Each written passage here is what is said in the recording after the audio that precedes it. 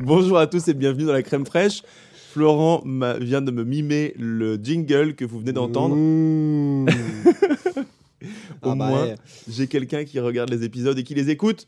Ce Eh n'est oui, pas que- le seul. Votre communauté, notre communauté grandit chaque jour et de plus en plus d'auditeurs sont là avec la crème fraîche à attendre le prochain épisode.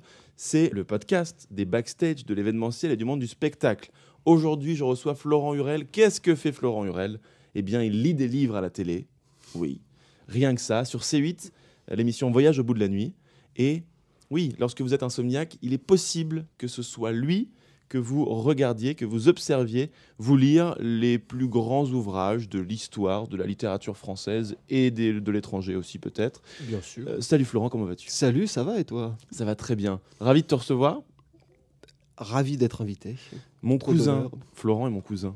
Quelle Secret. chance Je fais un, un podcast sur les backstage de l'événementiel et du monde du spectacle et j'ai mon cousin qui incarne le monde du spectacle puisqu'il fait plein de choses. Il lit des livres à la télé, mais il est aussi écrivain. Il est venu avec ses ouvrages, on va en parler. Aujourd'hui, on va essayer de rentrer euh, dans les backstage de Canal+, puisque nous sommes actuellement dans les studios de Boulogne, n'est-ce pas Florent? N'est-ce pas?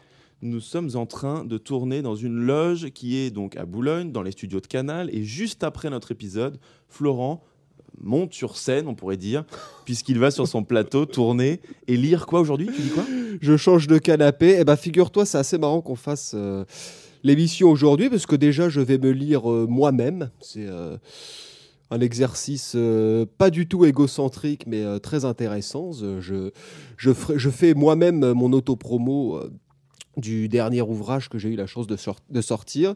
Et après, bah, on retourne sur euh, deux héros euh, très présents dans l'inconscient collectif, euh, à la fois avec Cyrano. Je vais lire à moi tout seul tous les personnages de Cyrano, ça va être exceptionnel. Et puis après, Robinson Crusoe, perdu sur une île déserte, que faire? Eh ben, il y aura de l'inspiration. Peindre un ballon de volée Un ballon de volée, oui. et c'est- l'appeler Wilson. C'est pas dans l'original, mais euh, c'était c'était une très bonne idée. C'est dans l'inconscient collectif. Euh, très fait. bien. Eh bien, Florent, sans transition, nous allons commencer par l'instant fraîcheur. Pour mieux te connaître, c'est parti, Mmh. instant fraîcheur. La question. Fraîche, fraîche, fraîche, fraîcheur.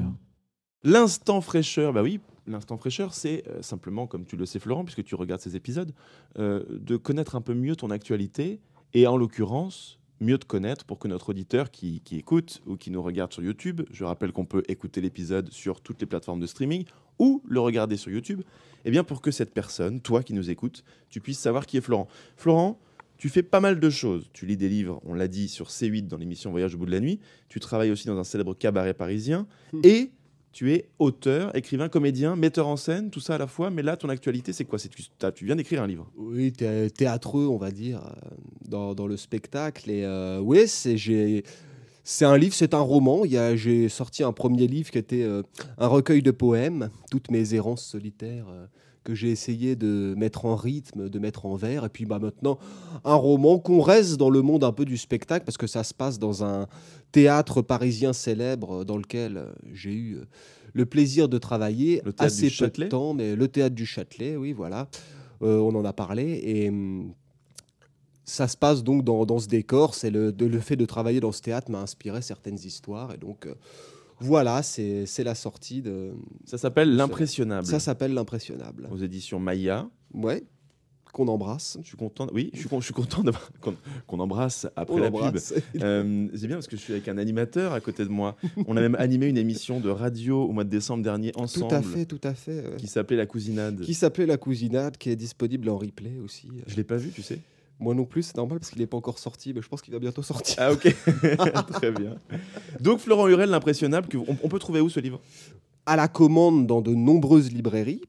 Il est disponible évidemment à la commande en ligne sur le site des éditions Maya et puis tous les sites de revendeurs euh, Sur Amazon. connaît, euh, sur Amazon, mais bon, c'est pas terrible. Amazon, euh, allons plutôt chez un libraire, allons plutôt, même limite à la Fnac, plutôt que sur Amazon, parce que moi je suis pas très très très très hein. Je sais pas s'ils nous écoutent, mais bon, entre nous, Amazon, moyen quoi. Ouais, ouais, ouais, monsieur Ok, je suis pas certain que Jeff Bezos va venir te chercher. On sait jamais. Il est capable de faire pas mal de choses. Très bien. Est-ce que tu as quelque chose à dire sur ton actualité, quelque chose que tu voudrais mettre en avant en particulier dans ce qui se passe dans ta vie professionnelle aujourd'hui ou personnelle Ah bah moi, il faut me lire, il faut me regarder, hein, tout simplement. Euh, il y a les, il y a les, euh, les boucs. Non, mais c'est, c'est un test pour moi. Je suis pas, moi, je suis pas né dans une, une ambiance forcément très littéraire. J'étais pas forcément très doué non plus à l'école dans les manières littéraires. Moi, j'ai un cursus en plus euh, plutôt scientifique, paradoxalement. Et aujourd'hui, de, Mais ça se voit. hein. Ça se voit que j'ai un cursus scientifique. Quand on te voit, on se Ah dit bah. euh, il, pour- il pourrait avoir inventé une formule mathématique. Mais j'en ai inventé, j'en ai plusieurs. Elles n'ont pas été euh, encore Ils n'ont officialisées. pas mais, été euh, retenus. Voilà, mais c'est le fait de m'adonner à ça à la fois en proposant, en présentant euh, tous ces ouvrages classiques euh, dans cette émission, et maintenant ça m'a donné envie d'écrire moi-même, de tester, d'avoir un peu les, de voir ce qu'en pensent les gens, les réactions, tout ça, c'est très enrichissant. Après, l'activité artistique sur les planches, elle se poursuit. J'ai deux pièces euh, qu'on a déjà eu la chance de jouer à Paris que j'aimerais beaucoup exporter en, en région, dans, dans tout un tas de théâtres municipaux. Donc on travaille dessus. Mais ça finit toujours par me manquer euh, très vite. Donc euh, on y reviendra. Très bien. Eh bien, sans transition, moi, ce que je voudrais savoir, c'est qu'est-ce que tu fais ici aujourd'hui? Où est-ce qu'on va? Comment ça se passe une journée de tournage pour toi? On passe à Mhm. l'interview onctueuse. C'est parti. C'est l'interview croustillante, mais dans un pot de crème. Donc, c'est l'interview onctueuse. Ça va pour toi, c'est bon? Tu me rappelles Georges politiquement. Georges? Mais qu'est-ce que j'ai à voir avec Georges? Rien en fait Et puis, c'est pas du tout le sujet. C'est exact. Hum. Autant pour moi. Cette interview onctueuse, eh bien, de quoi il s'agit Tu le sais, Florent, tu regardes ces épisodes. Bien sûr. Alors?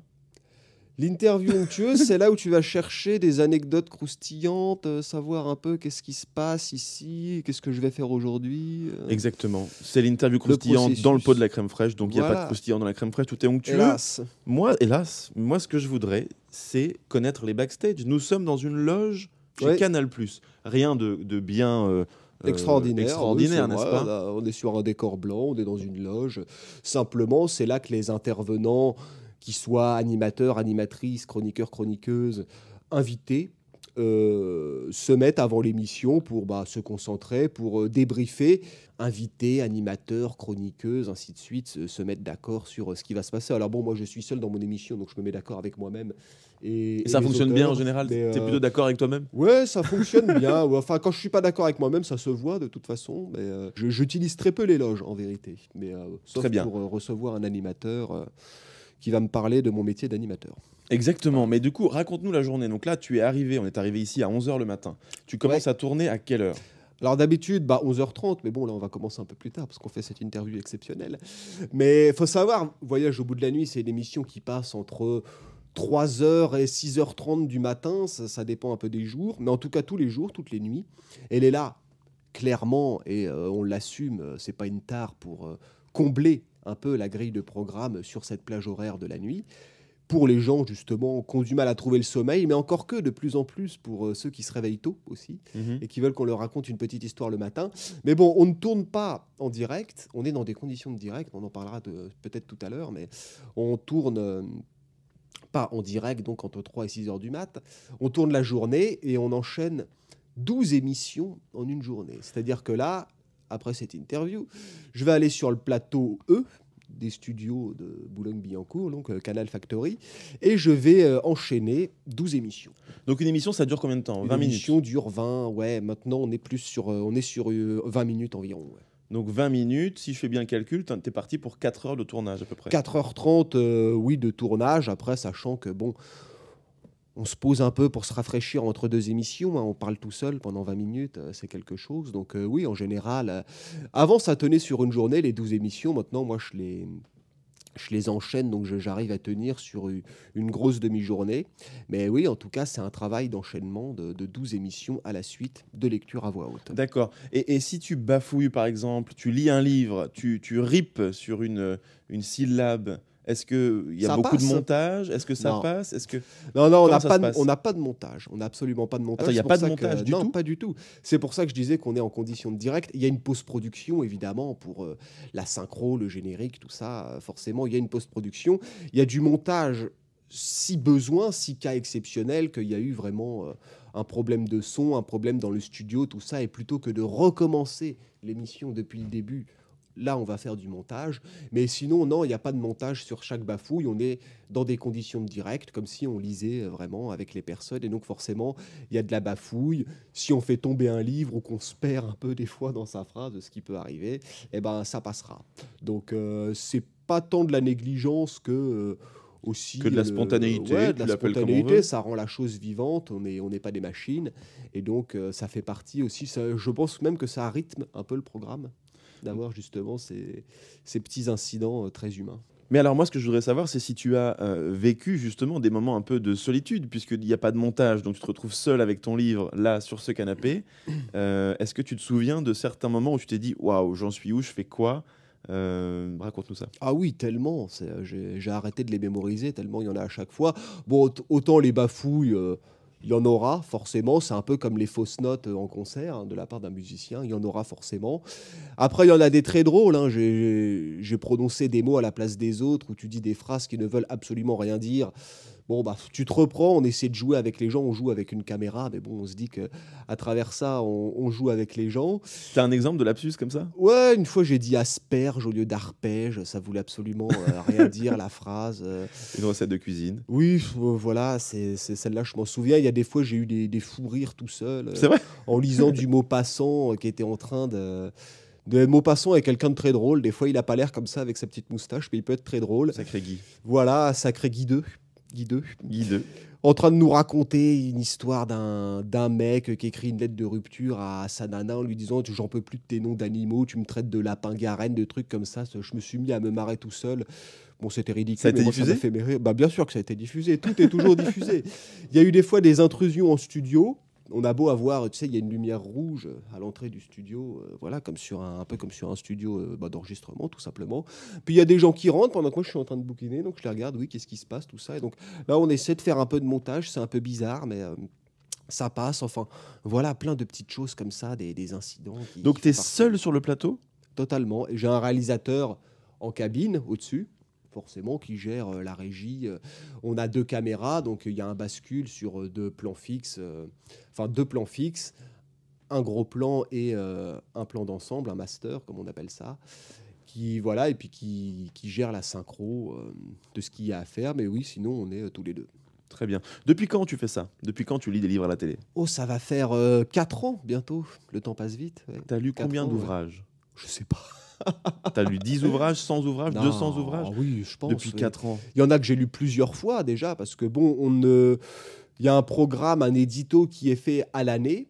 Maintenant, il arrive qu'il y a des, des livres qui reviennent parce qu'ils passent bien, justement, dans, le, dans ce cadre de, de, de comptage d'histoires partagées. C'est des bonnes histoires, donc il y en a que j'ai déjà lu deux, trois fois. Aujourd'hui, justement. Quoi, par lequel, lesquels par exemple? On va, on va, aujourd'hui, je vais présenter Robinson Crusoe. Je l'ai déjà présenté au cours de cette carrière, on va dire, dans l'émission de Voyage au bout de la nuit. Et voilà plusieurs ouvrages de, de Georges Sand, de Balzac, euh, qui, reviennent comme ça de temps en temps parce qu'ils sont assez efficaces, surtout les histoires courtes. On sait que ça va bien marcher. Mais attends, la, la littérature française, elle n'est pas suffisamment vaste pour que tu lises euh, seulement une fois chaque ouvrage Euh, ça, bah ça, ça va vite hein, quand tu sais qu'on peut tourner 12 émissions par jour. euh, forcément, il y a des choses qu'on connaît pas. Après, on, on fait découvrir des choses aussi qui, qui sont inconnues. Mais dans l'ensemble, c'est vrai qu'on partage des classiques. Ce qui est très intéressant parce que le, le retour du, du public qu'on peut avoir à, à l'extérieur est de dire bon.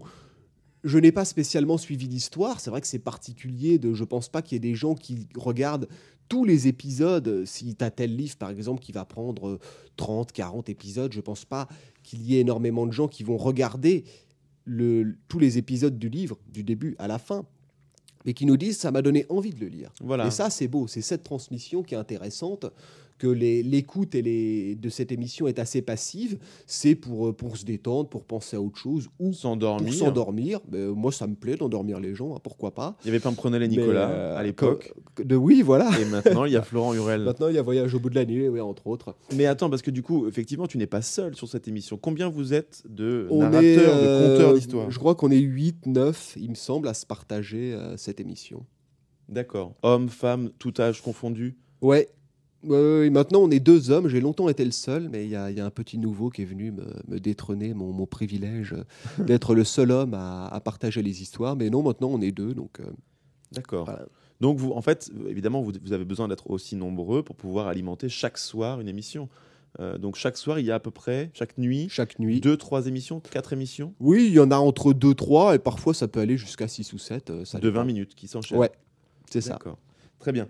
Euh, et donc là, on est dans les studios ici à Boulogne. Donc toi, tu tournes dans ton petit studio parce que tu es seul dessus. Mais à côté, il y a des grands studios qu'on connaît, d'émissions euh, très connues quotidiennes également. Bien sûr, toutes les émissions du groupe Canal, donc Canal+, C8, C-Star aussi, et puis euh, les émissions aussi euh, qui sont sur le, les sous-chaînes de Canal+, je ne le dis pas vulgairement, j'espère que je dis pas de bêtises, mais bon, tout ce qui est Canal+, série, Canal+, ciné, qui ont leur émission d'actu, ça se tourne pour la plupart ici aussi. D'accord. Donc ça veut dire que par exemple, euh, tu peux croiser des animateurs, des personnalités à chaque fois que tu viens tourner. Bien sûr, Dans les je, couloirs. je les croise à chaque fois, des fois je les vois arriver.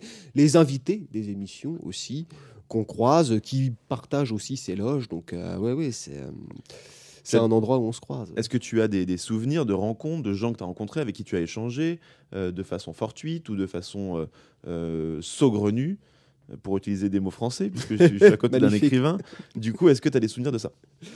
J'ai des souvenirs, j'ai pas beaucoup parlé avec les gens en fait. Moi, je, à la fois, je suis un peu dans mon truc, je pense à enchaîner très vite. Des fois, je fais d'autres choses après, donc euh, on se croise pas tellement. Après, si on croise des autres animateurs, on se dit euh, bonjour. Les autres chroniqueurs, euh, les, les chroniqueurs de certaines émissions célèbres, c'est amusant de les croiser comme ça en dehors, de les voir arriver aussi. Des fois, il y a des des hautes personnalités qui sont euh, très protégées.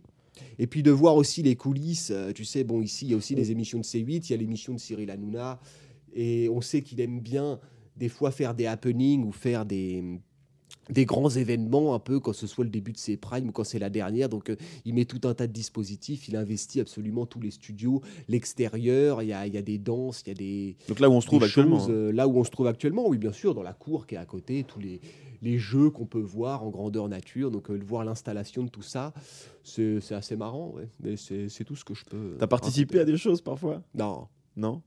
Non, non, non, non. Je sais que des fois ils sont venus dans le studio euh, voir comment ça se passait, mais j'étais pas là à ce moment-là. D'accord. ok, donc tu, tu n'as pas euh, un- une personnalité en tête que tu aurais rencontrée et qui t'aurait marqué? Euh, rencontrer. euh, Rencontrer, tu veux dire aperçu ou avec qui j'aurais Non, avec qui tu as discuté, échangé, je sais pas, euh, quelque chose vraiment qui, qui se passe euh, de backstage, quoi, finalement. Il- chacun fait son émission, mais toi, bizarrement, tu rencontres quelqu'un et, et quelque chose se passe. Tu vas boire un coup, tu, tu, tu crées un contact, tu crées du lien, tu fais du réseau. Ah Euh, oui. J'aimerais bien avoir un petit peu de, de, de backstage d'événementiel, puisque finalement, c'est ce dont on C'est là qu'on est, oui. Mais euh, j'avoue que malheureusement, euh, il s'est pas passé grand-chose.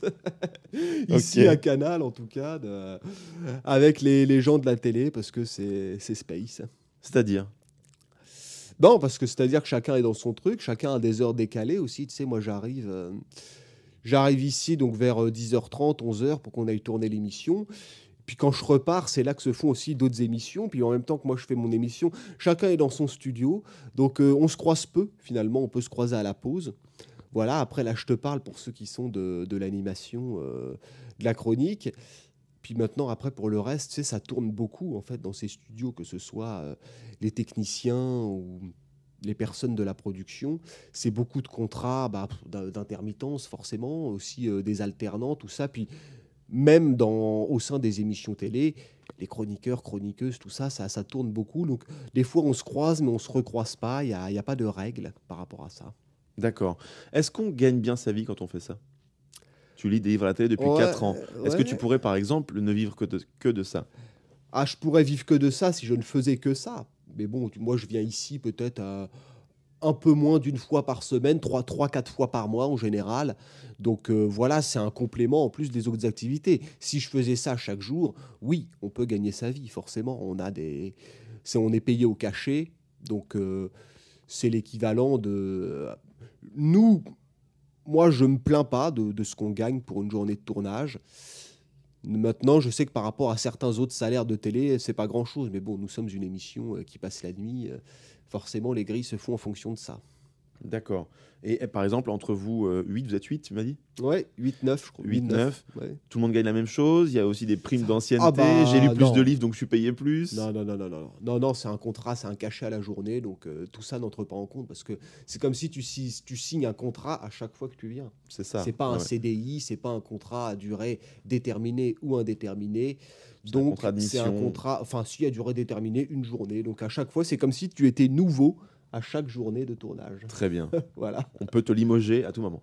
Ah bah on peut ne pas te rappeler en fait, tout Voilà, simplement. c'est ça. bon, J'ai de la chance, ça fait 4 ans qu'on me rappelle. C'est Parce cool. que tu es le dandy de ces 8. Oh, avec tes cravates et tes petits blazers et vestes. Ouais, j'essaie d'avoir une cravate couleur. par livre, mais euh, ça c'est pas évident quand même. Ça en fait beaucoup. Est-ce que c'est toi qui les choisis, les livres que tu lis? Est-ce que tu as un, un rôle dans le choix de ce que tu vas lire finalement? On peut en avoir, j'en ai euh, souvent eu euh, par le passé, justement. Je voulais un peu profiter de cette émission pour. euh, on fait redécouvrir les grands classiques dans cette émission, mais je me suis dit c'est intéressant aussi de s'intéresser à la littérature oubliée, par exemple, ou des choses qu'on ne, connaisse- qu'on ne connaîtrait pas très bien et qui sont rééditées. Maintenant, on a un édito euh, plus construit à l'avance avec euh, l'attaché de production qui, s'occupe de nous pour qu'on soit sûr de ce qu'on va faire après et avoir des, des bonnes prévisions sur euh, la répartition des programmes. D'accord. T'as pas Euh, répondu à la question sur le nombre de livres que tu as lus. On est Oh, sur bah quel- non, de quel y a- ordre Il y en a des centaines, oui, certainement, avec ceux que j'ai lus plusieurs fois, Je justement. parle à la télé en l'oc- en l'occurrence. Ouais, ouais, ouais, je pense qu'il y en a euh, ouais, on- sur une bonne centaine. Ouais. Ah ouais, quand Depuis même. 4 ans, ouais, forcément. Ouais. Ouais, ouais, une bonne centaine. Après, il y a des livres qui vont tenir très longtemps. On a lu, par exemple, Les Misérables, c'est 80 émissions. Non, plus, 180 émissions. Un roman comme Les Misérables, ça tient euh, très longtemps, donc c'est une série en plusieurs saisons, hein, clairement. Et puis il y a des livres beaucoup plus courts, quand des fois on va lire un recueil de poèmes ou une pièce de théâtre ou une petite historiette, un petit conte, ça va tenir sur 2, 3, 4 émissions. Donc euh, voilà, une petite heure de lecture quoi. le, oui, donc le, le nombre de livres, des fois, il est assez anecdotique parce que bon, si c'est des livres comme Les Misérables ou des livres comme euh, L'île des esclaves aussi. de Marivaux, euh, Mm. c'est c'est très court, quoi, tu vois. Ah oui, d'accord. Ok. Ouais. Moi, je suis pas très, euh, je suis pas très littérature. Il faut que je, me- faut que je passe plus de temps avec toi, Ah, cher Florent. oui, oui, pour parler autre chose aussi. On va pas parler que de littérature. Bah, apprends-moi des choses. Euh, moi, ce que j'aimerais savoir aussi, c'est comment tu t'es retrouvé à faire ça, parce que finalement, tu te retrouves à lire à la télé. Mais est-ce que c'est un casting? Est-ce que c'est par réseau? Est-ce que on t'avait déjà vu sur scène, par exemple? Comment est-ce qu'on se retrouve à lire entre 3h et 6h du matin dans Voyage au bout de la nuit sur C8 Parce qu'on connaît quelqu'un de bien. Non, mais je l'avoue, après, moi, je connaissais cette émission. Ça m'intéressait de le faire parce que euh, j'ai beaucoup fait aussi de, de lecture publique, lecture spectacle ou lecture publique euh, dans des bibliothèques, des librairies, euh, des musées, tout ça. Et j'ai toujours aimé partager ça. Je me suis dit, dans cette émission, ça peut être sympa aussi parce que c'est le même exercice. J'avais postulé il y a très longtemps, je crois, il y a, 10 ans, justement. Et à l'époque, on ne voulait que des lectrices. Bon, j'avais pas euh, cet honneur d'être euh, lectrice. Et puis la, la production a changé. Je connais euh, une des lectrices, Charlotte, que, que j'embrasse d'ailleurs, si elle va regarder cet épisode, sait-on jamais. Charlotte, qui elle, parce que des fois il y avait des concours aussi, les- l'émission lançait un concours. Le concours, donc, c'est des gens qui pouvaient venir lire et puis certains pouvaient ensuite intégrer le programme. C'est ce qu'elle a fait et quand une nouvelle production s'est mise à, à vouloir de nouveau des lecteurs, eh ben, elle m'a proposé et puis bah, ça a marché. quoi. J'ai j'ai validé l'essai. C'était chouette. Très bien. Transformer l'essai. Oui, si on veut aussi. Valider oui. l'essai. Tu as fait un essai que tu as validé ou alors tu as joué au rugby? Ouais, ça se voit, j'ai la carrure pour ça. Bien sûr. c'est quoi ce rire narquois Euh, Très bien. Alors du coup, moi j'ai encore deux questions dans cette interview. La première, c'est est-ce que le fait de, de passer à la télé et de lire des, des livres te permet de vendre plus d'ouvrages ou, euh, en l'occurrence, te, te- te- te développe ton réseau dans le monde littéraire Je sais que tu es parfois sollicité par des influenceuses littéraires pour faire Oh, des oui. petites apparitions. Ou, ou là, on a fait une émission ensemble où tu as Ouais. invité aussi des, des- des influenceuses qui, qui écrivent. Euh, en- dans quelle mesure est-ce que ce rôle-là t'ouvre des portes? Ça donne une crédibilité, forcément. Le fait de, depuis plusieurs années de, de lire des livres et puis d'avoir de, de cultiver une image un peu en, accord avec ça, puis d'avoir une belle bibliothèque et de connaître aussi beaucoup d'ouvrages classiques, ça donne une crédibilité sur, euh, dans des discussions. Pour euh, éventuellement faire du, livre audio aussi, ça c'est quelque chose que, que je commence à développer, que j'aimerais développer de, plus en plus, tant qu'à faire. euh, continuer à lire à voix haute et, partager, moi ça, ça me plaît beaucoup. Donc je le fais à la télé, je peux aussi le faire en audio. Et hum, après, dans l'univers des influenceurs, des influenceuses, c'est différent parce que, évidemment, j'en ai rencontré euh, en tant qu'invité, enfin, ou, ou développer des connaissances comme ça parce qu'on on partage un peu une même passion au final. Mais moi, je ne suis pas influenceuse. Non. Je suis euh, pas prête de le devenir, donc euh, c'est autre chose. Pour être, il y a des fois des, des choses qui se font entre influenceuses, entre influenceurs, enfin bon, entre Instagram quoi. J'y suis pas spécialement convié parce que moi j'ai pas la communauté qui va avec. Je, je ne cherche pas spécialement. J'ai pas envie de passer euh, toute ma journée sur Instagram à aller à, à la pêche aux abonnés. Je fais pas de vidéos. Je, je retransmets des fois certaines présentations de, de certains livres que j'ai pu faire, que je mets sur mes réseaux, mais sans plus. Très bien. Et est-ce que cette activité-là, ce contact avec ce monde de, de l'audiovisuel, te, donne envie d'aller plus loin, d'animer d'autres programmes? Est-ce que ça a fait naître en toi euh, une fibre? Euh, Tu dirais quoi? Est-ce que tu aimes cet univers de l'audiovisuel et de la télé? Euh, pas au point d'en être spécialement animateur sur une émission récurrente comme ça tous les jours. Je pense pas vouloir devenir animateur. Enfin, ça dépend pourquoi.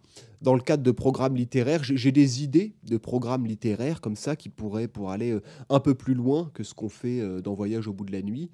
Vraiment dans ce contexte de partage. Après, être euh, animateur euh, comme le sont les animateurs dignes de ce nom, non, pas spécialement. C'est pas euh, quelque chose que je développerai plus que ça. Je, je suis plus dans la, le développement du spectacle que- qu'autre chose. Très bien.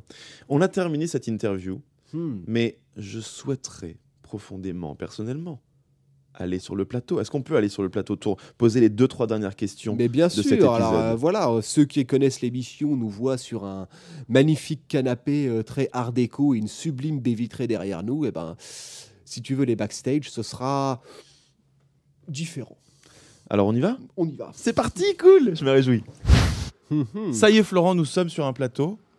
Nous sommes pas le sur tien. un plateau. Ah non, On n'a pas eu le droit de tourner sur le plateau de Voyage au bout de la nuit, mais nous sommes sur le plateau d'une autre émission, lequel? Nous sommes sur le plateau de Gym Direct. Gym Euh, c'est- Direct. C'est l'originalité de ce programme, c'est que on va pas aller sur notre plateau, mais on va sur le plateau de l'émission qui passe après nous.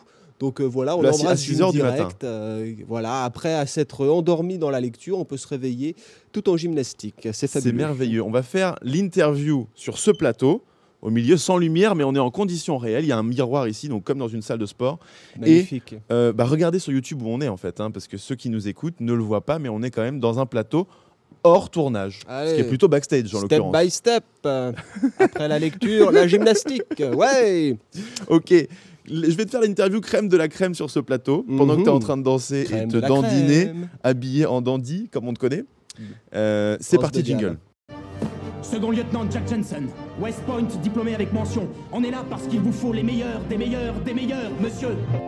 Oui, autrement dit, la crème de la crème. C'est votre Captain America de service, là. Les meilleurs, des meilleurs, des meilleurs, monsieur. Euh, avec mention. C'est l'interview crème de la crème. Nous nous regardons quand même. Il est con. Si, je te rappelle quand même que c'est un podcast et que les gens ne nous voient pas forcément. C'est pour ceux qui nous voient. Ok. Je te pose la première question. La crème de la crème, c'est le meilleur du meilleur de d'un domaine ou d'un autre domaine. Je te demande, puisqu'on est sur un Oui. plateau de tournage, quel est pour toi le meilleur animateur de télé de l'histoire? Moi, Tu n'es pas animateur, tu es lecteur à la télé. J'anime l'émission d'abord. Et pour moi, le meilleur animateur télévision, c'est euh, mon cousin Vincent K qui fait des émissions magnifiques. Oh, c'est vraiment gentil de ta part. Plus objectivement, on t'a déjà, euh, on t'a déjà sorti cette réponse, mais euh, objectivement, je pense que c'est Drucker. Il a été livré avec le poste, il est toujours là. Donc, euh, il est normand. Il est, né- il est du pays de la crème fraîche, lui aussi. C'est vrai. euh, respect. Et on l'embrasse parce qu'on sait qu'il il adore ton émission. Oui, c'est certainement. Merci pour ta réponse. Quel est le meilleur livre pour s'endormir, mon cher Florent? Alors, ça dépend. hein, si tu veux le meilleur livre pour s'endormir parce que c'est tellement pompeux qu'on s'endort ou une belle histoire qui nous permette de bien dormir. Donc, euh, du pompeux, moi, je pense, euh, bon, euh, Victor Hugo, c'est le seul Michel Drucker de la télé, hein, c'est le boss. Mais bon, il y a des scènes de description extrêmement longues dans Les Misérables, dans Les Travailleurs de la mer, qui vont t'endormir parce que tu décroches, c'est trop long. Il n'y a rien à faire, ou tu peux prendre un Balzac aussi pour ça, si tu veux être sûr d'avoir des descriptions éternelles dans lesquelles il ne se passe absolument rien et on s'endort. Sinon, euh, des belles histoires, les contes des mille et une nuits, raconte-moi une histoire pour m'endormir, ça peut tenir mille et une nuits, c'est-à-dire un peu plus de trois ans. C'est euh, très bien aussi. Très bien. Et un livre, alors le meilleur livre pour se réveiller en l'occurrence. Si, tu- si ce matin je me lève, j'ai la tête un petit peu en vrac, qu'est-ce que je dois lire pour soudainement me réveiller? Alors, euh, J'aurais pas le réflexe d'ouvrir un bouquin quand je me réveille? c'est ça, c'est ce que j'allais dire. Est-ce que pour se réveiller, on va plutôt mettre de la musique hard rock que, que un bouquin? Eh mais ben, un livre hard rock. Un livre, quand tu le Euh, lis, non, tu as l'impression d'être Moi, je secoué. pense un livre qui réveille, ça, on va passer pour peut-être pour des bouffons, mais c'est un livre érotique euh, parce que ça va éveiller les sens. euh, Donc, euh, je pense que ça réveille. Oui, ça c'est sûr. Euh, Un polar, pourquoi pas Un livre érotique, tu as des noms de livres érotiques? Oh, il y en a plein. La littérature érotique, je, Oui. vraiment, je ne connais pas.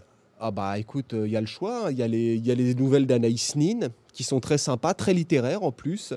Euh, bon bah on connaît les SAS, les choses comme ça. Ah oui, ou, ces euh, vieux livres là, noirs, Voilà. etc. Mais ce- qui sont sympas, il y a des livres très. C'est souvent très drôle en fait. C'est vrai que maintenant on a une image de, cette littérature, genre euh, 50 nuances degrés, tout ça, qui, se prend beaucoup trop au sérieux. Mais la, la littérature rose de base, ce qui est fascinant, c'est que j'en ai lu certaines. Oui, tiens, j'aurais pu te raconter ça dans les anecdotes, les moments où j'ai dû lire des passages un peu olé olé, très gênants, à dire. euh, Je ne m'attendais pas à ça. Je me souviens d'un livre de Robert Desnos. On connaît un peu Robert Desnos pour euh, certains livres, euh, enfin les, les poèmes du bestiaire. C'est le, le réalisateur. J'aime bien parce que le réalisateur en cabine me dit pour une fois j'ai écouté l'émission. C'est dire à quel point parce que j'ai un souvenir de Robert Desnos dans les poèmes que je lisais à l'école, les poèmes du bestiaire, euh, la baleine, tout ça, tout ça. Mais en fait, il a aussi écrit des récits très euh, scabreux. hein, voilà, dont un qui s'appelait La liberté ou l'amour. Moi, le titre me faisait rêver. Les errances d'un jeune homme solitaire en quête d'affection. Je m'identifie totalement. On est dans cette ambiance un peu film d'auteur, années 50, tu sais, avant-garde. Je me promène dans les rues pavées, c'est lent, tout ça, tranquille. Et d'un coup, sans transition aucune, vraiment d'une page à l'autre, on se retrouve dans un espèce de porno hard, de porno gay complètement hardcore. Waouh Et Difficile moi, je à lire, en là, l'occurrence. Ah oui, avec le vocabulaire qui va avec. hein. On va pas le dire là, on est peut-être à une heure de grande écoute, mais franchement, moi j'étais là sur mon canapé, je découvrais ce texte en même temps que je le lisais. Et le réalisateur après qui me dit, bah dis donc, tu nous fais des trucs qu'on n'a pas l'habitude d'entendre. euh, pour une fois, j'écoute. C'est pas toi qui l'avais choisi en l'occurrence ce livre. Si, C'est toi qui l'avais choisi. mais sans savoir qu'il y aurait de ça. ok, excellent. Bon, ça c'est une bonne anecdote, très bien. Euh, Anecdote dans la question. quel serait le livre que je devrais lire pour me la péter en société L'impressionnable, Florent Hurel. L'autopromo Voilà, Qu'est-ce que je devrais lire euh, Pour se la péter en société, ça Ouais, fait un truc qui fait bien quand tu dis ouais, ça, ça je l'ai lu, c'est sympa, à part la Bible Bof. ou le Coran. Non, je, je reviendrai peut-être sur Les Misérables, sur Notre-Dame de Paris, sur euh, Monte Cristo, c'est pas mal. Enfin, tu sais, des livres très très longs où on se dit, la vache, rien que le fait d'être allé jusqu'au bout, C'est une prouesse. fallait déjà avoir le courage de le faire. Ouais, parfaitement.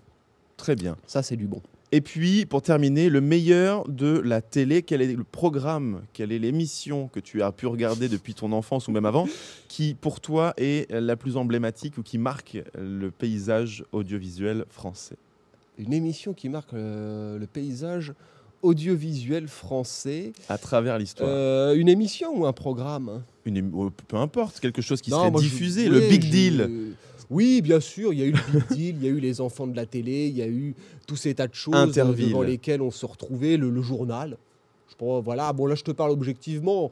Personnellement, moi c'est plus le programme et les films qui passaient à la télé, les rituels du film, parce qu'il y, en- il y en a moins maintenant. Bon, en même temps, ah, ça, ça va dans le cadre de, de l'évolution et de, de ce qu'est la, la télévision aujourd'hui, avec toutes les plateformes de contenu. On n'a plus besoin d'attendre de la télévision qu'elle nous diffuse des films. Mais moi, quand j'étais gamin, ciné dimanche et ciné mardi, c'était sacré. J'enregistrais le film qui passait à la télé, quel qu'il soit. Des Avec fois, je Avec l'effaçais ta cassette derrière, VHS. avec la cassette VHS. C'est là qu'on voit que oui, nous devenons vieux. On est des Mais- trentenaires, On assume. bien sûr. Oui. Et, et voilà, ciné dimanche, ciné mardi, ça c'est un rituel exceptionnel et c'est ce qui m'a donné envie de, de passer dans la télé.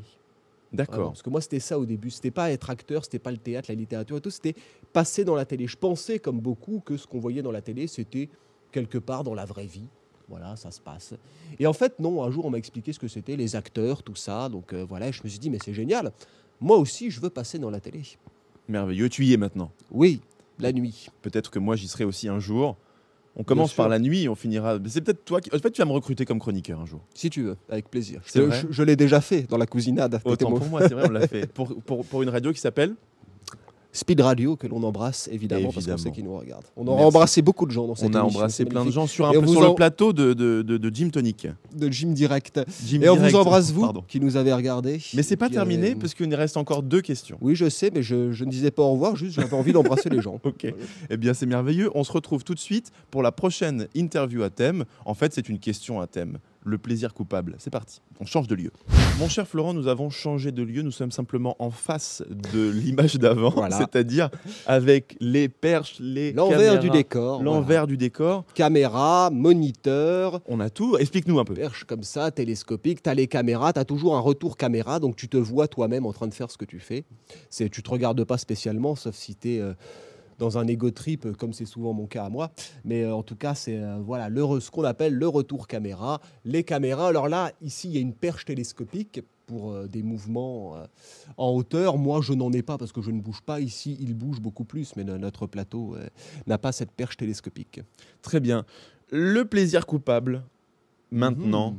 si tu t'en souviens, c'est le moment où tu aurais profité eh bien, du fait que tu sois à la télé euh, ou du fait que tu, es, tu sois comédien, que tu sois écrivain, toutes les activités qu'on a décrites avant, pour euh, obtenir quelque chose, un passe-droit, euh, où tu as profité de, de ton statut, de ta notoriété, de ton job pour obtenir quelque chose. Est-ce que c'est quelque chose qui te revient en tête? Alors malheureusement, je ne suis pas du tout assez célèbre euh, pour euh, ce genre de pour avoir ce genre de plaisir coupable. Je m'en sers euh, en fait, j'en parle pas beaucoup surtout de que je passe à la télé dans, mon métier par exemple de l'accueil, je je le mets pas en avant. Bon, les gens finissent par le deviner d'eux-mêmes parce que un jour enfin une nuit ils ont euh, un peu d'un beau jour ou peut-être une nuit. voilà, et qui se mettent à zapper euh, à la télévision et qui tombent sur moi. Alors c'est assez marrant parce qu'il y en a qui me disent Oh la vache, je m'emmerdais l'autre nuit à la télévision, je zappe, je tombe sur un mec, ton sosie, c'est quelque chose d'incroyable. Je dis Ah bon, c'était quoi? Tu sais, le truc hyper. euh, le mec qui lit des, des bouquins tout seul sur son canapé. Je dis Oui, bah c'est pas mon sosie, c'est moi. voilà. Et alors, la réponse Donc, est quoi? euh, Mais non, c'est toi qui fais ça C'est toi. oui, Mais pourquoi tu communiques pas là-dessus un peu plus? Ah, mais je communique. Non, je m'en sers. Après, ça dépend euh, comment est orientée la question. Mais bon, de, ce que je me souviens, elle est orientée plus perso. Évidemment que professionnellement, je, je le mets en avant pour euh, obtenir d'autres opportunités euh, dans, dans le même cadre. Forcément, oui. Après, perso, bof, bof. Enfin, la télé. Je vais le dire comme ça, c'est plus, euh, oui, pour, pour faire connaissance ou pour essayer de se, se donner de l'importance ou dans, dans- dans- des, dans des fausses tentatives de drague, évidemment, oui, de dire qu'on travaille à la télé, bien sûr. Mais euh, sinon, euh, non, j'ai pas encore eu à le mettre tant en avant que ça pour euh, d'autres opportunités, parce que c'est pas si flamboyant que ça non plus, c'est pas assez paillette pour qu'on puisse vraiment en profiter, je crois. Très bien. Nous allons passer à la dernière et ultime question de cette interview avant de te laisser aller tourner sur le plateau. Eh oui, les chefs-d'œuvre m'attendent. Nous, nous, nous, nous, nous, nous, c'est le goût. La question du goût et elle est la suivante. Comment est-ce que tu manges ta crème fraîche, mon cher Florent, toi qui es normand comme moi? Eh ben justement, euh, la sauce normande, évidemment, ça, c'est le must. hein, Tu veux dire euh, avec les champignons? avec les champignons, dans le riz, mélangé, tout ça. J'ai, envie d'ajouter l'escalope, mais c'est pas très vegan friendly, donc euh, on va se contenter de. On remarque la crème fraîche non plus. Euh, Donc tu mangerais que la sauce faire, euh, normande. Non, je me, bah, je me fais la sauce et avec le riz. Ça, c'est avec le riz qu'on prend souvent. Tu fais de la recette sauce normande. Mais sinon, avec des fraises, c'est très bien aussi. hein. Ok. On choisit Le quoi fraise et le sucre. La- Les fraises ou l'escalope normande à la crème champignon? Évidemment qu'on choisit la sauce normande avec la crème champignon et les fraises en dessert. Car un repas sans dessert, c'est comme un livre sans le mot fin.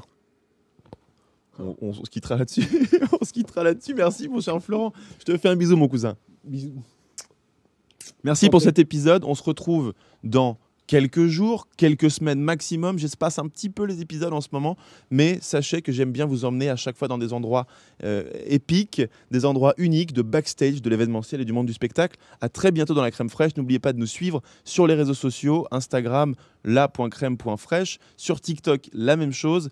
Et puis, mettez-nous 5 étoiles sur l'application sur laquelle vous écoutez ce podcast. C'est très important pour que, eh il y ait de plus en plus d'auditeurs et que je puisse vous emmener encore une fois euh, dans les backstage de tous les événements et de tout le spectacle français, euh, suisse et même ailleurs. Ciao, à bientôt dans la crème fraîche. Et surtout, lisez. Car Absolument. la lecture, c'est important. Absolument.